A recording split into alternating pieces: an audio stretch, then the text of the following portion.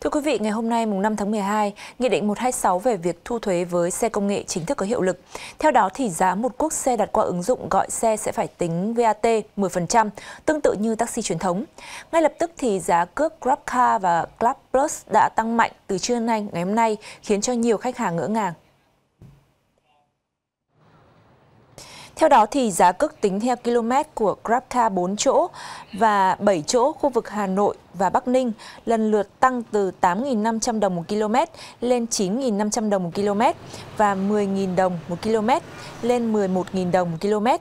Khu vực thành phố Hồ Chí Minh, Bình Dương và Đồng Nai tăng từ 9.000 đồng một km lên 9.500 đồng một km và 11.500 đồng lên 12.000 đồng một km.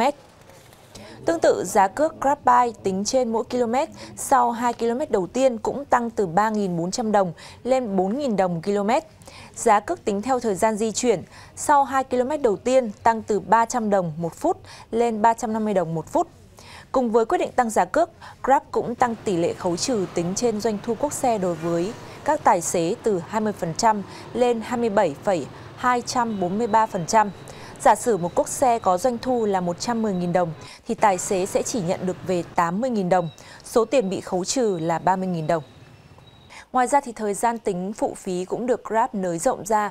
Nếu đặt xe từ 11 giờ tối đến 6 giờ sáng thì người dùng sẽ phải trả thêm 10.000 đồng cho mỗi quốc xe phát sinh. Việc tăng giá trên mỗi quốc xe sẽ khiến cho hành khách đi xe công nghệ phải chi thêm tiền với mức tăng theo từng km. Các tài xế lo ngại người tiêu dùng sẽ rẻ rặt hơn trong việc đặt xe, dẫn đến tình trạng ế ẩm giảm thu nhập.